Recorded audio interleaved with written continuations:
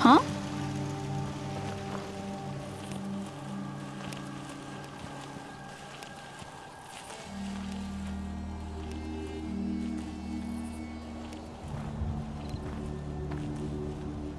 Well, you're still alive.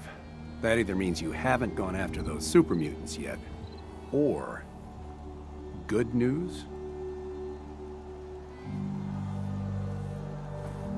Those super mutants won't be bothering you again. I guess you were the right person for the job, huh? Thanks, friend.